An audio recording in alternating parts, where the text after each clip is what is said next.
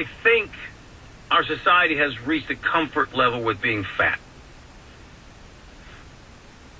And not that that's a bad thing, except it's going to kill us a lot faster than it's going to keep us alive. And I think for me personally, with a son who's not even three and a daughter who's five and another who's eight, I just didn't feel like dying in the next 10 years would be a good thing for me or them. And to imagine that I was letting that go, not Pepsi, Coke, Wendy's, McDonald's, Domino's, Minios, whomever, is absolutely irresponsible and part of what we battle in America today. Uh, a woman who absolutely knows what she's doing and has become a friend of mine uh, joins us now. Mary Emmerling. Good morning, Mary. Good morning, Marty. How are you? I'm fantastic. Uh, Mary's with Ideal Protein. It's a medically designed weight loss uh, protocol, and she uh, directs uh, several of their clinics and actually uh, focuses on taking care of your life, not just losing weight on a diet. So I, I, I texted uh, Mary this morning because we have these conversations all the time. You see these headlines, a soda ban in New York City. You don't see that as a solution, do you, Mary? You know what? I don't. It, you know, I kudos to the mayor for really wanting to make a stab at, at addressing the situation. But soda, just like you said earlier, is really just it, it's it's one drop in, in what the effort needs to be at, and a lot of it needs to be education. That's that's really where it needs to be. Carbohydrate consumption and sugar car- uh, consumption begins really almost as soon as babies come out of the womb. They're fed fruit juices right from the get-go. So we really need to, to educate our society on, on what really is going on with their bodies. Hey, hey, Mary, I, I noticed just looking around, and I know you do as well.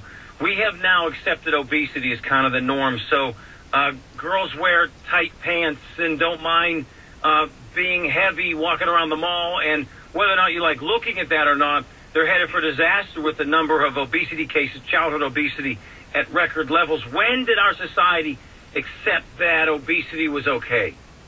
Well, I think a lot of the time is, you know, we've all been conditioned to learn that eating less and exercising more is the solution to managing your weight, and that simply is not the case. So people really just haven't felt, I'd like to think that they just haven't really been given a viable option in order to rectify the situation. And, and it's very clear that it's not about calories in, calories out, and, and exertion levels. There's something insidious that's going on from a physiological perspective that needs to be addressed. Mary Emmerling uh, with Ideal Protein. Hey, hey Mary, the, the, truth of the matter is, though, uh, most folks let it go because everything we reach out for now is cheap and easy to get to, and it's a buck. It's created this uh, psychology, I think, of fast food where we eat a bag of it and we just move on with our lives, right? Well, not only that, I mean, you're right. The low cost is the easy part of it, but the other issue is like sugar really has addictive traits to it. You know, they see sugar in laboratory rats. We were just discussing this. I'm, I'm in the Atlanta airport right now.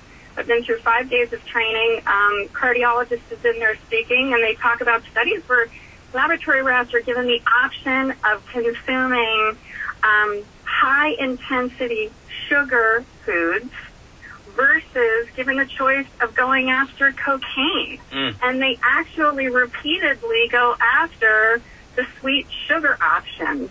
And then again, you know, the weight issue becomes becomes the concern. So, you know, we're we're addicted as well, and we're we live in an addictive society too. You know that you've been talking about it. And, and by the way, she nailed it for me personally. It's an addiction for me. I absolutely battle. I, I talked to her about this.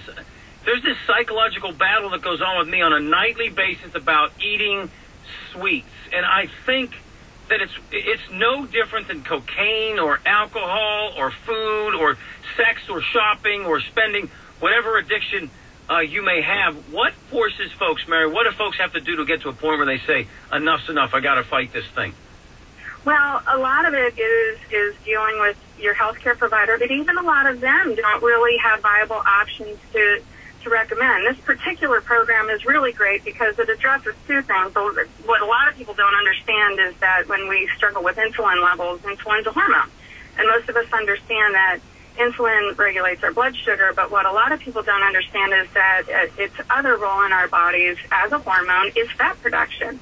so when we can get the insulin levels under control on a consistent basis, we generally see, and there's some other issues going on, but when we can do that um, for a period of time, give that poor organ, the pancreas, a break from over secreting insulin all the time, then we see a lot of things clear up for people. Obviously, the weight drops, but um, we see big improvements in in labs, people's cholesterol, their high blood pressure. All of those things have a tendency to come under control. Type 2 diabetes, it, it just really, um, really, really impacts things. But you know, you need to think too about the work that you've put in. I mean, and how you feel. I mean, you know, those of our participants on the program usually definitely think more level-headed over Yeah. time when they're on it. Yeah. Um, generally have more energy. I realize that there's a struggle in making these lifestyle changes, but we've got to educate people. And, and Marty, I promise you, and I've told you this, that Mhm. when you're done with this program, I'll give you some pizza. It will be okay.